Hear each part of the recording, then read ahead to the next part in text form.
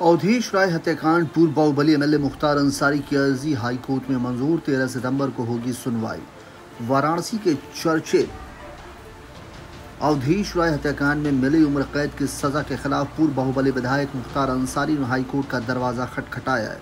मुख्तार ने अपने वकील के माध्यम से निचली अदालत के फैसले को चुनौती दी है। हाईकोर्ट ने सुनवाई के लिए मामले को मंजूर कर लिया है। कांग्रेस नेता जो राय के भाई अवधेश राय की हत्या में मिली उम्र कैद की सजा के खिलाफ दाखिल पूर्व बाहुबली विधायक मुख्तार अंसारी की अर्जी को इलाहाबाद हाई कोर्ट ने सुनवाई के लिए मंजूर कर लिया है।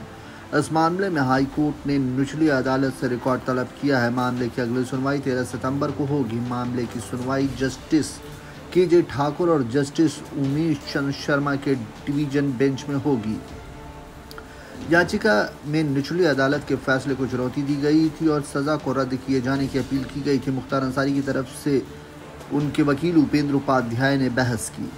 वाराणसी की special M P M L A court के इस साल पाँच जून को मुख्तार अंसारी को अवधेश हत्याकांड में उम्र कैद की सज़ा सुनाई थी। कोर्ट ने हत्या का दोषी मानते हुए मुख्तार अंसारी को उम्र कैद की सज़ा दी थी। तीन अगस्त उन्नीस सौ इक्यानवे को वाराणसी के चीरगंज इलाके में अवधीश राय की गोलियों से भून कर हत्या कर दी गई थी। कांग्रेस नेता अजय राय का इस हत्याकांड में खुद ही वादी और गवाह थे।